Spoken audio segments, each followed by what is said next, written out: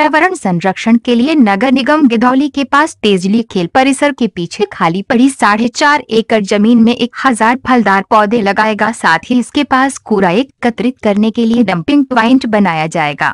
Mayor Madan Chauhan ने इस सही महिपाल व अन्य अधिकारियों के साथ साइट का दौरा कर ज़मीन का निरीक्षण किया। मेयर मदन चौहान ने अधिकारियों को ज़मीन पर हो रहे कब्जों को हटवाकर उसकी बाउंड्री करने व फलदार पौधे लगवाने के निर्देश दिए। मेयर मदन चौहान व सई महिपाल को नगर निगम पटवारी ने संबंधित ज़मीन का नक्शा दिखाया। पटवारी ने मेयर व सई को ज़मीन का ब्यौरा दिया, जिसके बाद इस ज़मीन में पौधे लगाने व डंपिंग प्वाइंट बनाने का प्लान बनाया गया।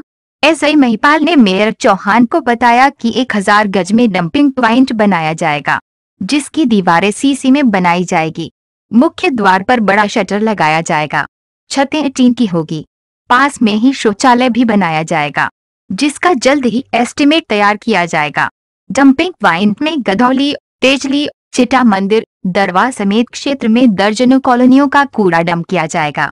मेयर मदन चौहान ने कहा कि पेड़ पौधे हमारे जीवन का आधार है।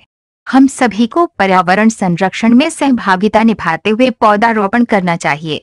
नगर निगम इस दिशा में भरकस प्रयास कर रहा है। हर वार्ड के पार्षदों को पाँच पाँच सौ पौधे लगाने का टारगेट दिया हुआ है। इसके लिए नगर निगम जहाँ जहाँ खाली जगह है, वहाँ पर पौधारोपण कर रहा है।